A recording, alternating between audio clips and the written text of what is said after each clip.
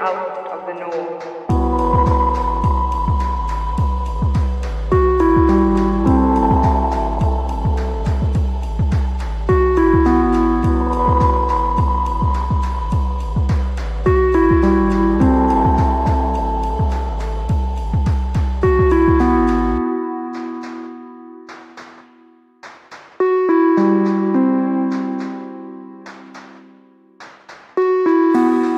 Beguiled for odyssey in pinks and lavender, over of gently braided turquoise tiles that represented